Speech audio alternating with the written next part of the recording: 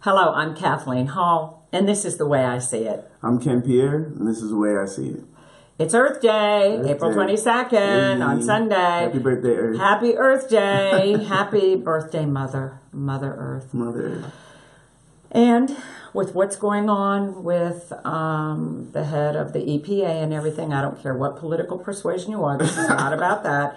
But there is global warming. Right now, you can go look at Hawaii and look at um, the Virgin Islands, where Jim and I went every year, and you can't go there now. We've been to Puerto Rico, we can't go there now. So uh, look at the people that live on the oceans, like my brother and sister, and different people where the water's coming in and the polar ice caps are melting. Come on, let's wake up. We're not stupid. There is science. So we got to come together, and Earth Day now is more important than ever since we have uh, uh, pulled out of the Paris Paris Act. uh, and all kinds of other things. So we have got to be uh, warriors for Mother. She's calling us up to, uh, to love her and be with her. I happen to be in the Audubon Society. He knows I've rescued animals forever. I'm a big butterfly, insect person. I try to save everything on the earth. So to watch this degradation of Mother, of our Mother, it's all we have, guys. It's all we have. Um, and every sacred sacred part of it is just a miracle. So, um, and I know you've been all over the world, uh, much more than I have, and seen the different places in the awe, in the beauty of everything from a desert to a mountain to to a jungle, and To to, a jungle. see a jungle be decimated for corporate use. I, I, so I wasn't a part of it, um, but we tried to intervene Right. because you know habitats are every day something is dying, Right. a species is, is dying. So it really hurts me to see. You know, we try to intervene whenever we, and we try to, whenever we're, would be out in the desert, we would try to, you know, clean up, definitely like scour the earth to make sure that there You was no anything. human human footprint there. good. Yeah. Oh wow, yeah, that's great. Human footprint. That's what we have to look at.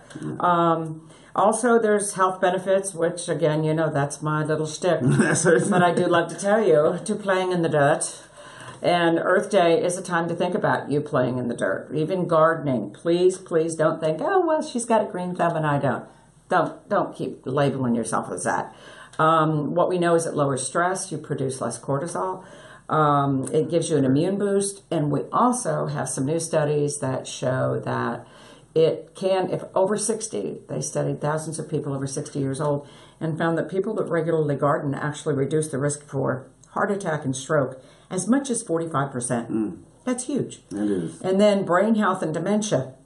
We've looked at uh, people with Alzheimer's, and people that garden actually reduce their risk of Alzheimer's significantly, as much as 33% in one study and 40 as the others. Hmm. And so we don't know about Alzheimer's. We just can't figure it out yet, research wise, and, a- and a couple people I know that are actively involved in Alzheimer's research. But what we think is when they get outside, they're using hand-eye coordination. They're they're sensually using smell, sight, hearing, touching. Think about it. You're using every sense when you're gardening. And think about uh, dementia and Alzheimer's as the closing, Closing down, down, of your yeah. sensory perception. Um, and there's also that feeling of rewarding, planting a flower, planting a tomato. So, in, in seeing the cycles of life, it, it doesn't let you pull back. And um, so I think that's absolutely amazing. Don't you think those health things are, are I want to let you know when um, Dr. Hall, Dr. Hall recently went away for about a good 10 days. So I was in charge of everything.